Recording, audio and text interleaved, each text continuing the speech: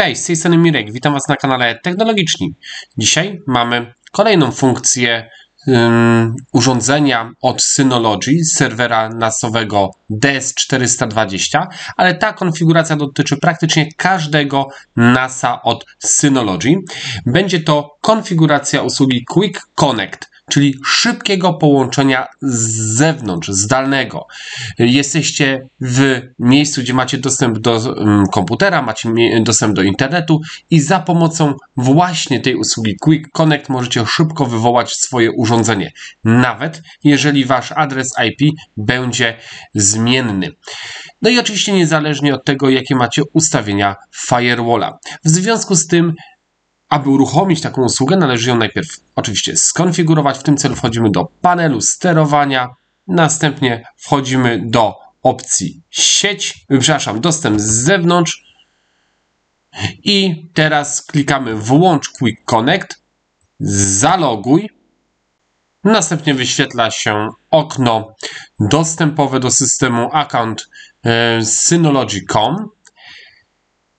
I teraz albo wprowadzacie adres e-mailowy, albo logujecie za, się za pomocą swojego e, konta w Google lub w Apple. Oczywiście wcześniej warto zatwierdzić cookiesy. Jeżeli nie macie takiego konta, klikacie utwórz konto Synology. Ja takie konto posiadam, w związku z tym loguję się i teraz jesteście już zalogowani do systemu. Następnie wprowadzamy nazwę, po której będziemy identyfikować nasze urządzenie.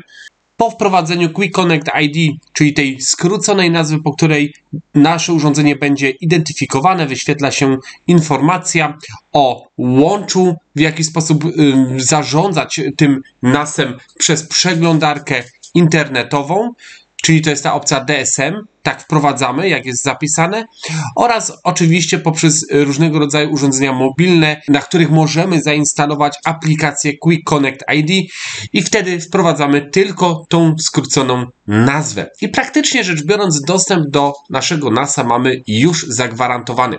Ja Wam teraz pokażę, jak to można zweryfikować. Można to zweryfikować w bardzo prosty sposób. Wystarczy wejść na stronę accountsynology.com i po zalogowaniu się widzimy listę urządzeń, którą posiadamy.